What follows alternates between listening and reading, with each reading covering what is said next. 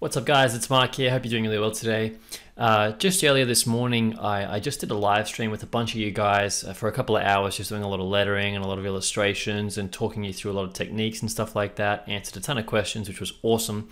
Uh, during the process, I was drawing a lot of people's names and doing some custom lettering, and there was one point in the live stream where uh, I took a name that I'd been drawing and added a bunch of extra flourishes and some customization and stuff, and I talked a little bit about how I kind of process in my mind where I'm going to add flourishes and stuff like that. And I thought some of you might find it useful. So I've just made a quick video here now of about six or seven minutes of the live stream with me drawing and just explaining that so that you don't have to dig through the whole live stream to find it. So yeah, hopefully you guys find it useful. Please let me know if you have any questions.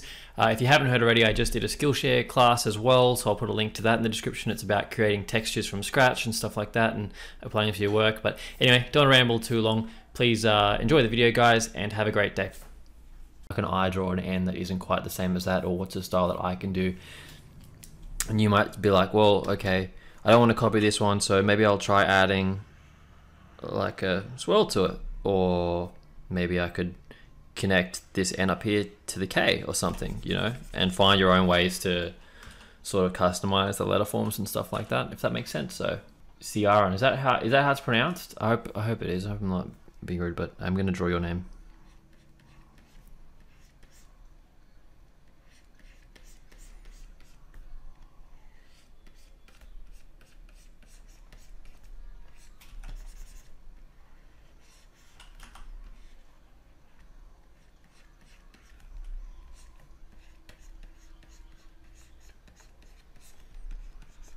I apologize in advance if my Australian accent is basically just butchering your names. Um, I mean no offense.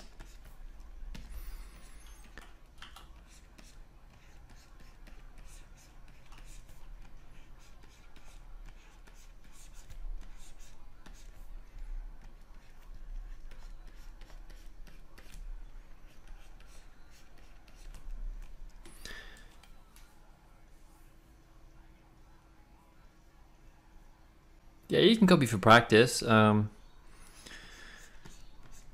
just don't really like post it on Instagram as and say that it's yours or you know sell it to someone and stuff like that. It's any time that it starts to become a problem, I think.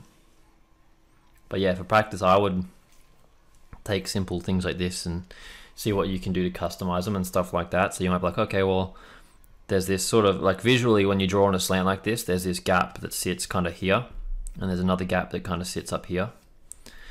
And so if you wanted to do something with flourishes or whatever, you would want to fill that. Like if it was a name tag or something, you would want to fill those gaps. So uh, you can start thinking about which letters you can use to to fill this downward space. The N is always the well, the last letter is always kind of the, the I don't want to say the easy one, but it's kind of the obvious choice. Um, so you could just kind of maybe flick something off there like that and fill some of that gap.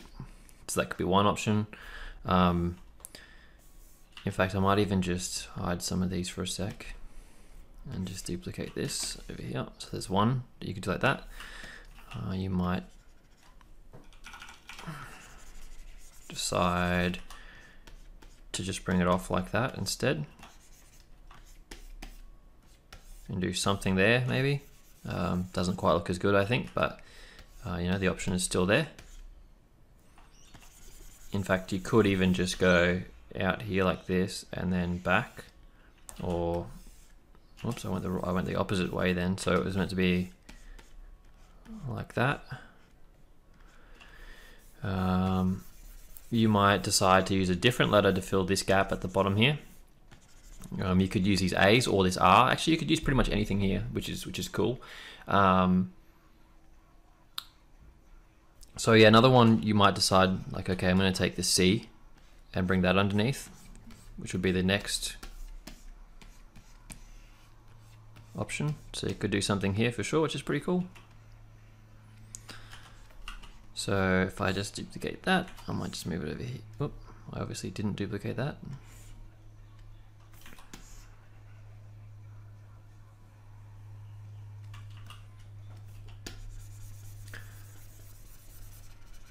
So then if we go back to the C that we had before,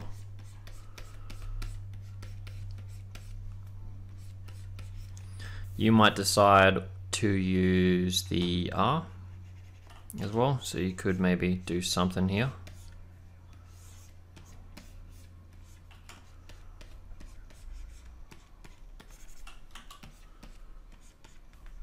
And stuff like that. So there's really is quite a lot, quite a few uh, possibilities when it comes to filling those gaps and you'll just learn that a lot of different letters have different ways that you can use them. So if I didn't have this come quite so far out, let's just say that it came to here. So if we talk a little bit about some of these top gaps and stuff, I could grab this N and sort of just bring it around like that. Could do something there. Um, so that's another one. Oh man, I'm running out of space again. Um, I actually really like that. I would probably keep it like that. Um, but you could do other things as well. I mean, you could do something off the C that came up that way. Um,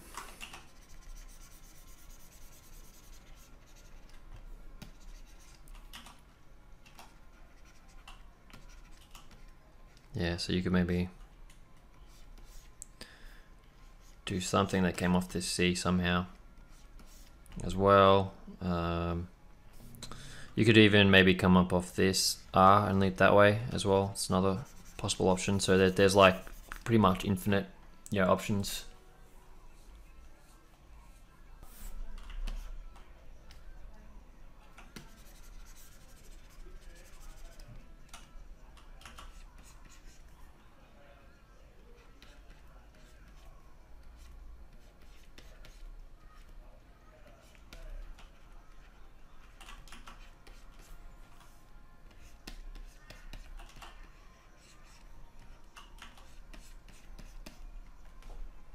So yeah, it's really up to you. Um, do you ever use pencil and paper? Um, yep, hang on a second, let me show you something. So before I came on my live stream, um, literally about five, ten minutes before, I quickly did some freehand lettering. Um, so this was just with a brush pen. This is what my warm-up looks like every morning. So hopefully that comes up on the camera, just a sec.